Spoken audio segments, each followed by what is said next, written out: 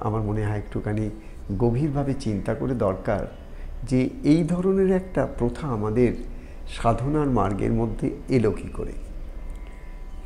কেনই বা আমরা ঈশ্বরের কোনো একটি বিশেষ রূপকে বা গুরুর রূপকে আমরা যখন পূজা বা উপাসনা করি এবং বিশেষ করে ভক্তিমার্গের পথে যখন আমরা চলি, তখন এই নিত্য সেবার মধ্যে ভোগ নিবেদন একটা ভীষণ ইম্পর্টেন্ট অ্যাসপেক্ট এবং খালি তাই নয়, তার মধ্যে নানান রকম সুচিতা, নানান রকম নিয়ম, আচার, সব কিছু কিন্তু সেখানে অবজারভেশনের একটা দিক আছে।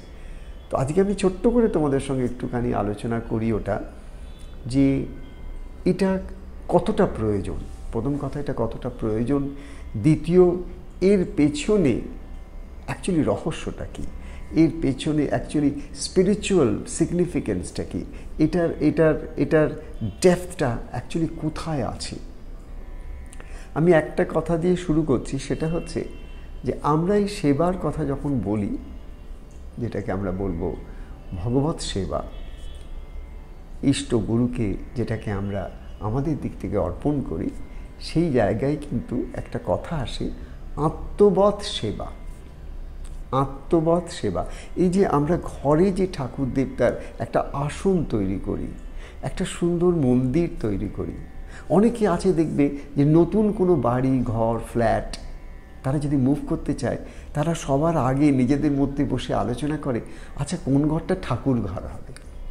আমরা কোথায় ঠাকুরকে রাখব? সুতরাং ঠাকুর ঘর, ঠাকুরের একটা স্থান ঈশ্বরের একটা স্থান, নিজের গুরুর জন্য একটা আলাদা জায়গা, এটা কিন্তু যারা ভক্তির পথে চলেছেন, তাদের জীবনে একটা একটা অত্যন্ত ইম্পর্ট্যান্ট একটা জিনিস আমরা প্রত্যেকের মধ্যে দেখতে পাই। তো এই যে একটা আলাদা করে ঠাকুর ঘর এবং সেই ঠাকুর ঘরে নিত্য সেবার মধ্যে আমি একটা কনসেপ্ট তোমাদের কাছে নিয়ে এলাম, সেটা হচ্ছে আত্মবধ সেবা, অর্থাৎ আমার বিগ্রহকে, আমার ঠাকুরকে, আমার পটকে, আমার ঠাকুরের যে মূর্তিকে আমি রেখে পূজা করছি, সেই পট বিগ্রহ যা কিছু বলে না কেন? সেটা কি কেবল পট বিগ্রহ? সেটা কি সত্যি কেবল একটা ছবি মাত্র? সেটা কি সত্যি কি একটা কোনো ধাতু, একটা কোনো পাথরের কোনো শিলার, একটা মূর্তি বিশেষ? না, এর মধ্যে আরও কিছু আমরা দেখতে পাই। আমাদের সকলেরই জানা যে এই যে এই যে আমরা বিভিন্ন পট বিগ্রহাদি ব্যবহার করি আমাদের সাধনার মার্গে, সেটা কিন্তু একটা প্রতীক হিসেবে ব্যবহার করি। আমরা ভালো করেই জানি, একটা ছবি কিন্তু তিনি নন, একটা বিগ্রহ তিনি নন, এটা একটা পাথর, এটা একটা ছবি, এটা একটা কোনো ধাতু দিয়ে গড়া কিছু। কিন্তু আমাদের কাছে ও কি নিয়ে আসে? ওই মূর্তিটা, ওই ছবিটা আমাদের মনের জগতে কি ধরনের ভাইব্রেশন সৃষ্টি করে? একটা সাধারণ পাথরকে যদি আমি একটা অন্য কোনো শেপে কাটি বা একটা যে কোনো একটা ছবি, যে ছবিটা দেবতা বা গুরু বা সিদ্ধ সাধকদের নন বা যা কিছু আমাদের মধ্যে সেই পরম পিতার চিন্তাকে নিয়ে আসে, সেই সেই পরম আশ্রয়ের একটা ধ্যান নিয়ে আসে, সেই ধরনের কোনো যখন আমাদের কোনো সেই চিত্রপট কিংবা সেই পাথরের বিগ্রহ কিংবা রূপ, সেটা কি আমাদের মনে সেই ভক্তির ভাব নিয়ে আসতে পারে? পারে না। তার মানে আমাদের ব্রেন বা আমাদের মন বিশেষ বিশেষ রূপকে আমাদের মনের জগতে সেই ঈশ্বরের একটা ভাবনাকে আমাদের মধ্যে প্রকাশ করতে বা সেটাকে নিয়ে এগিয়ে যেতে সাহায্য করে। এবং সেই ক্ষেত্রে এই যে আত্মবাদ সেবা, এই আত্মবাদ সেবাটা আমাদের মনে রাখতে হবে এই জন্যে যা কিছু আমি নিজের জন্যে করি যাহা কিছু আমি নিজের জন্যে করি সেটাই আমি আবার আমার ঠাকুরের জন্যেও করি, সেটাও আমি আমার গুরুর জন্যে করি। কেন? যে আমার ঠাকুর, আমার গুরু আর এই যে শরীরের যে আমি, আমার বলে যে জ্ঞান, এই সবটুকুর মধ্যেই আমি সেই এক ঈশ্বরকে প্রতিষ্ঠা করার চেষ্টা করছি।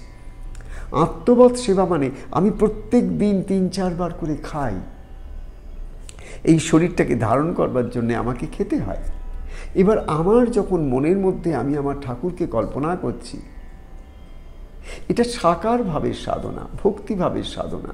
সেই সাকারভাবে তিনি নিরাকার, নির্গুণ সর্বব্যাপী এই কথাটা আমি শুনতে পারি, কিন্তু ধারণা করতে পারি না। বাবা লোকনাথ যেদিন আমাকে দর্শন দিয়েছিলেন, তার মধ্যে একটা পাঠ, ছোট্ট একটা, অনেকগুলো পাঠ আছে, তার মধ্যে একটা পাঠ আছে, বাবা আমাকে নিয়ে পথে বেরোলেন। বাবাও হাঁটছেন, আমিও পাশে হাঁটছি। বাবা হাঁটছেন, আমি এরকম করে দেখতে দেখতে হাঁটছি কেন? বাবা বিশাল লম্বা। আর বাবার চরণটাকে দেখছি, বাবার চরণে এত বড় বড় খড়ম। আমার পাটা দেখছি, আমার পায়ে এইটুকুন টুকুন খড়ম। বাবার পায়েও খড়ম, আমার পায়েও খড়ম। বাবাও হাঁটছেন আমিও হাঁটছি, আমরা পাশাপাশি হাঁটছি। হাঁটতে একটা বাড়িতে বাবা গেলেন। বাড়িটার বাইরে দাঁড়ালাম, দাঁড়িয়ে তারপরে ওই দরজাটা দিয়ে যখন ঢুকলাম সেই দরজার সামনে একটা চিক মতন ছিল। সে আগেকার দিনে জমিদারদের বাড়িতে দেখবে ঢুকেই একটা সামনে একটা মানে একটা চিক মতন থাকে, একটা সাম, উডেন ক্রাফট করা একটা ভারী সুন্দর একটা সেই জিনিসটা ছিল। তো সেটা দিয়ে ঢুকে বাবা ভেতরে গিয়ে ঢুকলেন। ঢুকে আমি দেখলাম যে বাবা একটা ঘরের দিকে যাচ্ছেন। তো আমি বাবার পেছনে ঘরের দিকে গেলাম। ঘরে দেখলাম যে একটা একটা খাটের উপর এক মানুষ শুয়ে আছে। আর যে শুয়ে আছে, সে সম্পূর্ণ সম্পূর্ণ অথর্ব। বাতে তার সমস্ত শরীরটা পঙ্গু হয়ে গেছে। কোনো কোনো একটা অঙ্গ নেই যেটা সে নড়াতে জড়াতেও পারে। এরকম একটা পঙ্গু শরীর ওই ওই বিছনার উপর পড়ে আছে। বাবা ওখানে ঘরের মধ্যে গেলেন। যখন গেলেন, বাবাকেও যখন দেখল এরকম করে ছটপট ছটপট করছে তখন সে। একটু ওঠবার জন্য, কিন্তু ওটার কোনো ক্ষমতা নেই। তার কারণ তার শরীরে এতটুকু কোথাও কোথাও একটা সেই অবস্থানে যাতে করে সে সেটাকে নড়াতে পারে। বাবা তার সামনে গিয়ে খালি হাতটা, তার মাথা থেকে একবার হাতটা এরম খালি করলেন, করে দাঁড়িয়ে পড়লেন। বললেন, ওঠ। তো ও তো ভাবতে পারছে না যে ওঠ মানে ও তো একদম সম্পূর্ণ পঙ্গু আবার উঠবে কী করে? কিন্তু যেই বাবা বলেন ওঠ। তখন আস্তে আস্তে আস্তে করে শরীরটাকে তুলতে আরম্ভ করল। আমি চোখের সামনে দেখছি যে আস্তে আস্তে করে শরীরটা উঠল। খালি উঠল না, সে পুরো উঠে গেল। খালি পুরো উঠল না। বাবা বলে না, তো একদম বিছনা থেকে আস্তে আস্তে করে নিচে নেমে পড়ল। মাটিতে পা রাখল। বিশ্বাস করতে পারছে না যে ও পা দিয়ে মাটিতে দাঁড়িয়ে আছে, তো বিশ্বাসই করতে পারছে না। তখন ও একদম বাবার চরণে আছড়ে পড়ল। এইবার আমি ওই, এইসব দেখার পরে আমার মনে আছে, তারপরে আমি একটা জায়গায় গেছি, তো ওপরে একটা ঘর ছিল, সেই ঘরে গেছি, একটা ছোট্ট একটা ঘর ছিল, সেই ঘরের মধ্যে একটা জানলা, আর সেই ঘরের মধ্যে অনেক দেবদেবীর পট, অনেক দেবদেবীর ছোট ছোট মূর্তি আদি সমস্ত আছে। তো আমি সেই ঘরে গিয়ে ঠাকুর ঘরটাকে আমি ভালো করে দেখছি। ঠাকুর ঘরটা যখন দেখছি, কী ঠাকুর আছে, কি আছে, না আছে, হঠাৎ আমার কানের পেছনে ঠিক এই জায়গায় গুরু গম্ভীর কণ্ঠে বাবা বললেন বলে দে, ভোগ দেয় না, ভোগ দিতে বলে দে।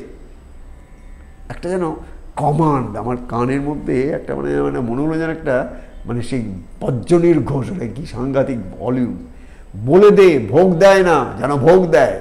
হুম? তো এই যে কথাটা আমার সেদিন শুনেছি, এটা একটা হ্যাঁ? এটা একটা মনে রাখো। একটা, আর একটা। আমার গুরুদেবের সঙ্গে একটি পরিবারের বিশেষ পরিচয় ছিল। খুব প্রথম দিক থেকে একদম পরের দিক পর্যন্ত। সেই পরিবারে বাবা লোকনাথের বিশেষ আসন, বিশেষ পূজা এবং প্রত্যেকটি উনিশে জ্যৈষ্ঠদের বিশেষ বিরাট করে উৎসবাদী হয়। তো সেই যে পরিবারের কথা আমি বলছি, সেই পরিবারের সম্বন্ধে ঠাকুর তার ডায়েরিতে লিখেছেন এক জায়গায় যে বাবা লোকনাথ ওই উনিশে জ্যৈষ্ঠের সময় ওই ওই বাড়িতে গেছেন প্রসাদ নেবার জন্যে। ভোগ যে তারা নিবেদন করছে সেটা নেবার জন্যে বাবা সেখানে গেছেন। বাবা আমার গুরুদেবকে বলছেন যে, আমি পরেশের বাড়িতে গেছিলাম। এটা কিন্তু আমার গুরুদেবের ডায়েরিতে নিজে হাতে লেখা আছে, আমার কাছে সেই ডায়েরিটা প্রিজার্ভ করা আছে। পরেশের বাড়িতে গেছিলাম ভোগ নিতে। হঠাৎ সবাই তোর কথা বলছিল তাই তোর কথা মনে হলো তাই তোর কাছে চলে এলাম বাবা সশরীরে স্থূল শরীর materialised body Baba just came all the way to Thakur's place where Thakur was at. Then he, he again materialized his body and he told Thakur that when I went to that place and they offered me food, I took the food and there so many people who are talking about you and I was just reminded of you and here I am, I have come to bless you. তার এখানেও কিন্তু একটা reference পাচ্ছ যে তুমি যে ভোগ দাও, সে ভোগ তিনি গ্রহণ করেন। তুমি যে ভোগ দাও, তিনি সেটা গ্রহণ করেন। কখন করেন? ভক্তের মনের আবেগে। যে তাকে সেইভাবে স্মরণ করতে পারে, ঠাকুর তাকে নিশ্চয়ই তার মনের ইচ্ছা পূর্ণ করেন। তুমি আত্মা রূপে আমার ভেতরে আছো, তুমি পট রূপে আমার সামনে রয়েছ, তুমি বিগ্রহ রূপে তুমি আমার সামনে রয়েছ। পটই হোক, বিগ্রহ হোক, আমার আত্মা ছাড়া তো কেউ কিছু নয়। সেই আত্মারূপে তুমি হে ঈশ্বর, আমার কাছে আস্তে আস্তে করে এবার প্রকট হও। তার জন্যে আমি তাকে তাকে কীভাবে তাকে আপন করছি? তাকে আমি সময় মতন খাওয়াই, তাকে আমি সময় মতন শয়ন দিই, তাকে আমি সময় মতন কাপড়টা পাল্টে দিই, তাকে সময় মতন স্নান করিয়ে দিই, তাকে সময় মতন সুন্দর করে ফুল দিয়ে সাজাই, বেলপাতা দিয়ে সাজাই, তুলসী দিয়ে সাজাই। এগুলো সমস্ত রিচুয়ালস বলতে পারো এগুলো কোনো মানে নেই। হ্যাঁ গো, একদম কোনো মানে নেই। আবার এর মধ্যে সব মানের মানে লুকিয়ে আছে। তোমার ছোট্ট শিশুকে বলবে, আজ আর তোকে সকাল থেকে রাত পর্যন্ত আমি খেতে দেব না। খাওয়ার কোনো মানে নেই। বাচ্চাটা কিন্তু বেশি দিন বাঁচবে না। ঠিক তেমনি আমার এবং তোমার, অর্থাৎ প্রভুর যে রিলেশনশিপ সেই রিলেশনশিপটা বাঁচে না।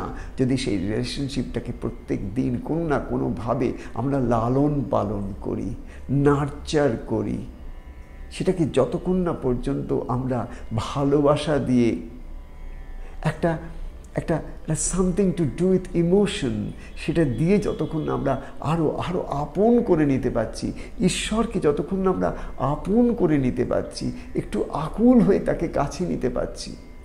ততক্ষণ পর্যন্ত তো আমি ঈশ্বরের আস্বাদনটা আমার কাছে আসে না। আমার ঈশ্বর বলতে যে একটা আনন্দ, সেই আনন্দটা তো আসে না, সেটা তো তখনই আসে যখন আমি জানি যে আর কিছু হোক আর না হোক, আমার মধ্যে একটাই যদি সত্য থাকে, সেটা তো আমার সেই সাক্ষী চেতনা। সেটা আমার মধ্যে সেই চৈতন্যরূপী ঈশ্বর ছাড়া তো আর কিছু সত্য হতে পারে না। বাদ বাকি তো সব মেটেরিয়াল স্টাফ এভার চেঞ্জিং সুতরাং আমি যদি সেই আনচেঞ্জেবল সেই ever existent self effulgent light আমার আত্মা আমার পরমাত্মা রূপী সেই গুরু বলো, ইষ্ট বলো, তার সঙ্গে আমি সম্পর্কটাকে যদি আরও আরও গভীর করতে পারি কোনো মতে কোনোভাবে তবেই কিন্তু আমার এই পৃথিবীর মুখের থেকে যে কটা দিন আমার শ্বাস বইছে, আমি একটু স্বস্তির শ্বাস ফেলতে পারব।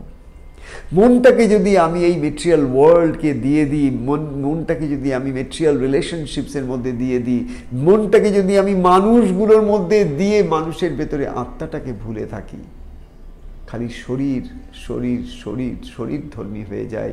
অন্নময় কোষ যেবল কেবল যদি পৃথিবীর অন্নময় কোষটুকুই দেখতে পায়, তাহলে কিন্তু সুখ, শান্তি, আনন্দ কেবল কথার কথা, ওটা কিন্তু মানে রাখবে না। তাই আমাদের এই যে একটা, এত সুন্দর একটা একটা ছোট্ট একটা জিনিস আজকে তোমাদের সঙ্গে শেয়ার করলাম যে স্বয়ং বাবা বলছেন, ভোগ দেয় না বল ভোগ দে।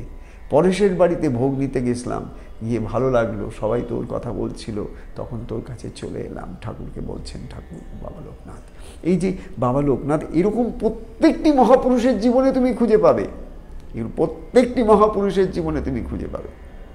আমি নিজে জানি আগরতলা মায়ের জীবনের একটা ছোট্ট ঘটনা বলে আজ শেষ করছি। আগরতলা মা তখন সল্ট লেকে ওনার এক শিষ্যার বাড়িতে আছেন। সেই শিষ্যার বাড়িতে অনেক দেবদেবীর পরযুক্ত একটা ঠাকুর ঘর সেই ঠাকুর ঘরে সেই শিষ্য একদিন মাকে বললেন, আগরতলার মাকে বললেন যে, মা আজকে তুমি একটুখানি ঠাকুরকে ভোগ দাও। আমি অনেক রকম তৈরি করেছি, একটু পায়েস টাইস তৈরি করেছি। তুমি তোমার হাতে একটু ঠাকুরকে খাইয়ে দাও। মা বললেন, ঠিক আছে। তো সমস্ত কিছু বেড়ে বুড়ে দিয়েছে ঠাকুর ঘরে। ঠাকুরের অতগুলো পট সামনে রয়েছে, বিভিন্ন দেব বিগ্রহ, তার গুরু বিভিন্ন আসনে বসানো আছে। মা ওই ঘরে গেলেন। ঘরে যাবার পরে কিছুক্ষণ পরে ও আবার ভেতরে যখন মা যখন দেখছেন ভাবস্থ অবস্থায় রয়েছেন, গিয়ে দেখছেন ওই যতগুলো পট আছে, যতগুলো ওখানে ছোট ছোট বিগ্রহাদি আছে, যতগুলো, সবার মুখের মধ্যে সেই সমস্ত খাবার লেগে আছে। প্রত্যেকটি প্রত্যেকটি ছবিতে প্রত্যেকটি বিগ্রহ সব মুখে মুখে ওই যেগুলো দিয়েছেন তিনি, সেগুলো সব লেগে আছে। মা ভাবস্থ হয়ে সামনে বসে আছে। যেন সমাধিমগ্ন অবস্থায় বসে আছে। এটা আগরতলার আগরতলার শিষ্যা আমাকে নিজে বলেছেন, আমি আমি তো ঘরের মধ্যে ঢুকে ভাবছি কি, আমি মাকে সামলাবো না কি দেখছি আমি?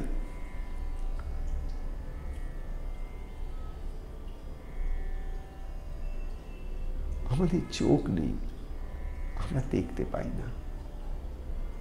আমাদের কান নেই, আমরা শুনতে পাই না। চোখ আছে, সেই চোখ দিয়ে যা দেখি, তা আমাদের সাময়িক একটু সুখ দেয়, অনেকটা দুঃখ দেয়। কান আছে, সেই কান দিয়ে যা শুনি, তাতে আমাদের সংস্কারগুলো দিনে দিনে বরঞ্চ নষ্ট বই একটু ভালো হয় না। ভালো কথা কোথায় শুনতে পাই, ভালো জিনিস কোথায় দেখতে পাই? তাই আমাদের এই দূষণের হাত থেকে মুক্তির উপায় কি? এই দূষণের হাত থেকে মুক্তির উপায় হচ্ছে আমার চোখ, আমার কান, আমার নাক, আমার জিভা আমার ত্বচা সব কিছু দিয়ে বারবার তার সঙ্গে তাকে আলিঙ্গন করার একটা একটা একটা কোনো না কোনো একটা উপলক্ষ চাই। তাকে ভোগ নিবেদন একটা উপলক্ষ। তিনি জগৎকে খাইয়ে পড়িয়ে রেখেছেন, তুমি তাকে কি খাওয়াবে গো? তিনি সবার মুখ দিয়ে খাচ্ছেন। সবার জিহ্বা দিয়ে তিনি আস্বাদন করছেন।